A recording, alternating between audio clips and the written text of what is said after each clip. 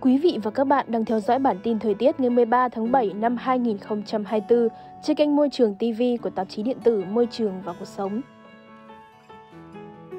Phía Tây Bắc Bộ có mây, chiều tối và đêm có mưa rào và rông rải rác, cục bộ có nơi có mưa to đến rất to, ngày nắng, có nơi có nắng nóng, gió nhẹ, nhiệt độ thấp nhất từ 24 đến 27 độ, nhiệt độ cao nhất từ 31 đến 34 độ,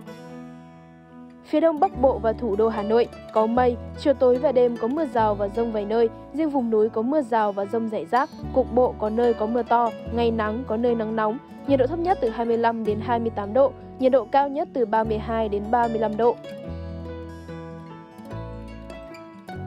Khu vực Bắc Trung Bộ và Nam Trung Bộ Khu vực Bắc Trung Bộ có mây, chiều tối và đêm có mưa rào và rông vài nơi, ngày nắng nóng có nơi nắng nóng gay gắt, Khu vực Nam Trung Bộ có mây, chiều tối và đêm có mưa rào và rông vài nơi, ngày nắng, gió Tây Nam đến Nam cấp 2, cấp 3, nhiệt độ thấp nhất từ 26 đến 29 độ, nhiệt độ cao nhất từ 35 đến 37 độ.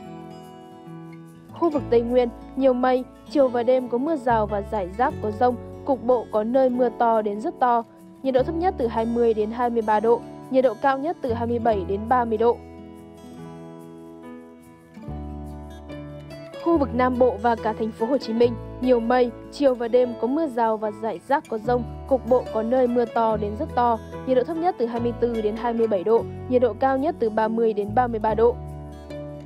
Vừa rồi là những thông tin thời tiết đáng chú ý vào ngày mai. Cảm ơn quý vị và các bạn đã quan tâm theo dõi. Xin kính chào và hẹn gặp lại trong những bản tin tiếp theo trên kênh Môi trường TV.